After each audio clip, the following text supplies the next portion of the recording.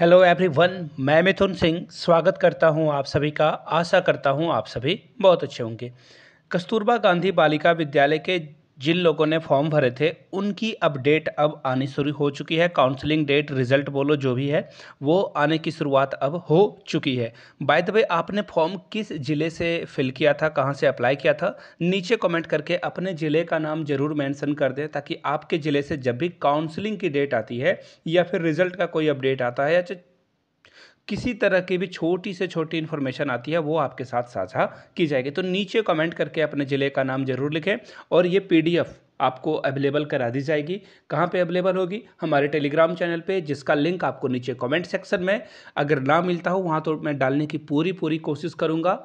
नहीं तो आप हमारे डिस्क्रिप्शन बॉक्स में जाइए, वहाँ पे आपको टेलीग्राम चैनल का लिंक डेफिनेटली मिल जाएगा। तो चलिए, शुरुआत करते हैं आज की वीडियो को। काउंसलिंग डेट आ गई है, अपना स्टेटस जान लीजिए। और देखिए, सबसे पहले मैं आपको दिखा दूँ यहाँ से।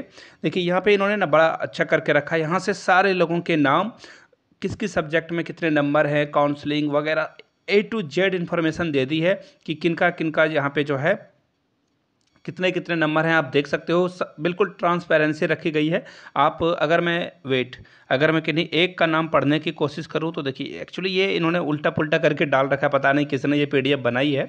बट वेट मैं कोशिश करता हूँ कि किसी एक का पढ़ लूँ। देखिए, यहाँ से देख सकते हो आप, पूर्णकालिक शिक्षिका गणित के लिए है। यहाँ से पोस्ट आप देख पाओगे। रंजना यादव जी, पिताजी का नाम मोबाइल नंबर और इनकी एज भी दे दी गई है साथ में। अब देखिए, अब पत्र पर हस्ताक्षर करने का पता वगैरह सब इन्होंने दे रखा है। देखो, लिंग, जाति और यहाँ से आप देख सकते हो, इनका जो हर स्कूल में परसेंटेज है, वो यहाँ पे दे रखा है। हाई स्कूल का परसेंटेज है इंटर का परसेंटेज है ग्रेजुएशन का परसेंटेज है।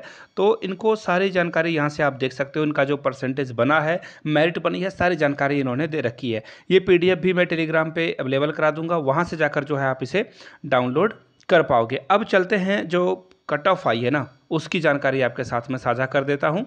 यहाँ से देख लो, पूर्णकालिक शिक्षिका गणित के लिए जो कटअप गई है वो बावन दशमलव एक पाँच fifty two point one five ये जनरल के लिए कटअप गई है। अन्य पिछड़ा वर्ग के लिए पचास दशमलव छः चार, यानी कि फिफ्टी पॉइंट सिक्स फोर अनुसूचित जाति के लिए thirty eight point seven five अब साइंस टीचर की अगर मैं बात करूँ तो साइंस टीचर के लिए अनरिजर्व पोस्ट था ही नहीं, सिर्फ़ अनुसूचित जाति के लिए पोस्ट था, जो कि पैंतालीस दशमलव दो आठ, यानी forty five point two eight इसकी कटअप गई हुई है।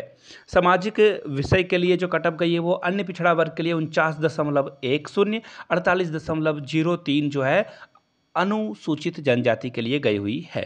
हिंदी और संस्कृत की अगर मैं बात करें तो छियालीस दशमलव एक तीन अनुसूचित जाति के लिए, कंप्यूटर के लिए उनचालीस दशमलव दो पाँच अनरिजर्व के लिए यानी कि thirty nine point two five, scout, guide एवं शारीरिक शिक्षा के लिए उनचास दशमलव सात नौ कही है cutoff, forty nine point seven nine. कला क्राफ्ट एवं संगीत और गृह शिल्प की बात करें तो उनचास दशमलव ज़ीरो चार और अनुसूचित जाति के लिए सैंतीस दशमलव नौ पाँच। अब देखिए, पहुँचना कहाँ है और सारी जानकारी इन्होंने दे रखी है। अगर आपका सब्जेक्ट है गणित, विषय या विज्ञान, हिंदी या सामाजिक एस एस टी सब्जेक्ट है आपका तो आपको तीस छः को पहुँचना है दस बजे सुबह। कहाँ पहुँचना है? विकास भवन, सभागार, गौरीगंज, अमेठी में। और कंप्यूटर, स्काउट गाइड, शारीरिक शिक्षा कला क्राफ्ट संगीत और गृह शिल्प है तो भी आपको तीस बजे सुबह वहीं पहुँचना है, तीस तारीख को दस बजे। वही अमेठी के जनपद में, गौरीगंज में। अब देखिए, चपरासी मुख्य रसोईया और वगैरह की जो इंटरव्यू है, वो एक जुलाई को कंडक्ट कराई जाएगी सेम जगह पे। तो आप यहाँ से देख सकते हो जो डॉक्यूमेंटेशन है, वो आप ज़रूर लेकर जाएँ, पहचान पत्र लेकर जाएँ। कार्यालय जिला बेसिक शिक्षा अधिकारी अमेठी से ये जानकारी आ चुकी है तो आप सारे लोग जो है जाइए। आप सभी को ऑल द बेस्ट है। अगर आपकी कटअप बनती है तो आपका सिलेक्शन ज़रूर होगा। इस वीडियो को अपने दोस्तों तक ज़रूर साझा करें, जिन्होंने अमेठी से फॉर्म भरा था। आपने किस ज़िले से फॉर्म भरा था, नीचे कॉमेंट करके बताइए। उसकी वीडियो जल्द ही लाई जाएगी, जैसे ही काउंसलिंग या फिर रिज़ल्ट की अनाउंसमेंट होती है। वीडियो को यहाँ तक देखने के लिए आप सभी का बहुत बहुत शुक्रिया। Have a good day